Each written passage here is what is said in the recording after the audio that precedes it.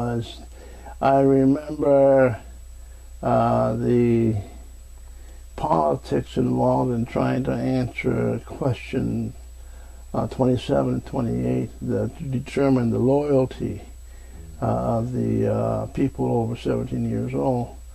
And the, the question, one question asked whether uh, the, the person would be willing to fight uh, all domestic and foreign enemies of the United States, and the other asked uh, to, uh, whether they would forswear allegiance to the emperor and, and defend the country against enemies.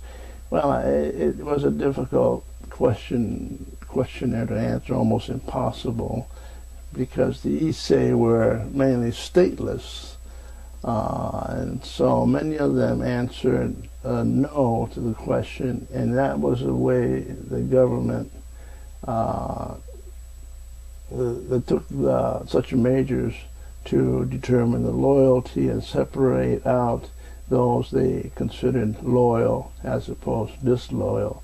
And the people answered no, no to the questionnaire uh, ended up in a segregationist camp uh, in uh, Tule Lake. And the rest of the people, I mean, were dispersed. The people in Tule Lake, of course, were sort of sorted out and uh, sent to different uh, relocation centers.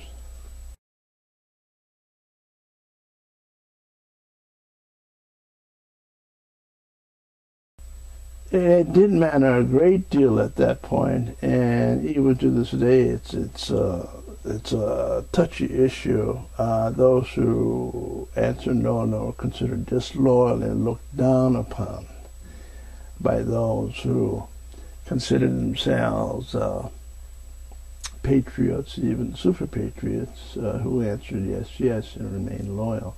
So there was this uh, division between the loyals and disloyals that created pretty uh, distinct, uh, harsh feelings between the two groups and factions. I mean, actually, the, camps they wound up in were factionalized between the the diehards, you know, and the uh, the moderates. Uh, it, it's a story that, that one can go on and talk about and bring up to the to date to this day to uh, to uh, uh, indicate the strong feelings involved and uh, the the the question of loyalty and disloyalty.